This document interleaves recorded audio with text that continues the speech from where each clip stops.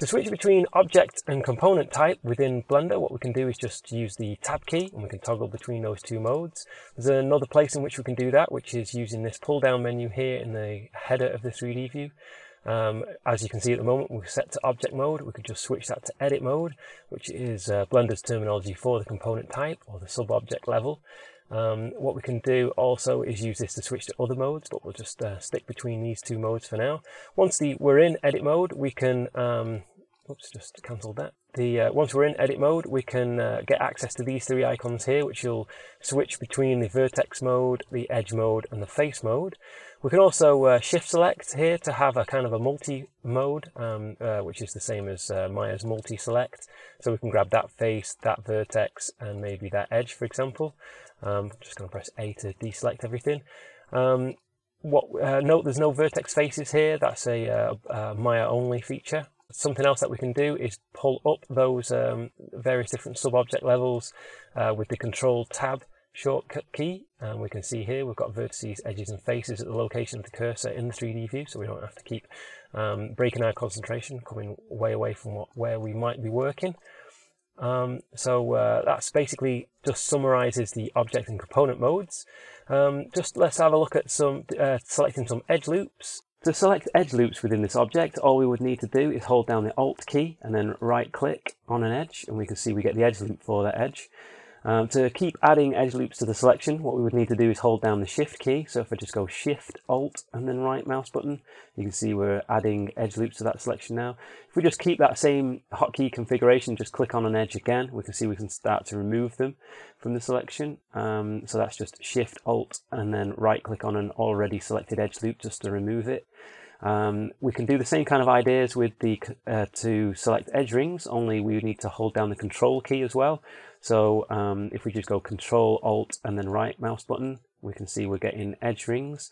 And again, if we hold down the shift key, as long as as well as the control and alt mouse buttons, we can get uh, additional edge rings in the selection. And then if we just hold, keep the same key presses down, so shift, control, alt, and then right mouse button, and already selected edge ring, we can remove them from the selection. Um, just using edge rings as an example, what we can do is we can switch to the face selection mode. I just brought that menu up with the control tab shortcut key. Um, what we can do now is we can just select on an edge and then um, the same kind of idea uh, maintained is maintained. So I've just gone control alt and then right clicked on an edge just to get that edge ring. Um, same kind of idea. If we just go alt and then right click, we get the um, the edge loop, but it also selects those faces for that. Same with vertices. Um, so we can get that edge loop there. I'm just alt and right clicking on this edge. Um, so you don't need to be in edge mode to, um, for that to work. I'm just going to switch into edge mode just to demonstrate something else. Uh, the shortest edge selection path um, can be achieved by control and right clicking on an edge. So if we just do that there, you can see it's worked out uh, a selection to there. Um, uh, the if I just actually, I'm just going to press C um, in fact, I'm going to switch to face mode actually just to demonstrate this. I'm just going to demonstrate the um, kind of a border selection um, to switch a, a, selection into its border loop selection. Um, I'm just going to press C uh, to enter the circle or paint selection type mode and then left click on a bunch of faces. And now what I'm going to do is I'm just going to right click to exit that tool and then come down to select and then we can see we get select boundary loop at the top and we can see that that's basically given us a, uh, a boundary loop for that selection. Um, so that's how you would achieve that in Blender. Uh, note there are uh, a bunch of other options within here, um, some quite useful selection methods. Um, so for example, um, what we can do is we can just select a side of active, for example, or just in the interior faces, um, uh, and a random selection. Uh, there's a bunch of uh, useful things in here that's always uh, handy. Taking a look to see if the tool already exists.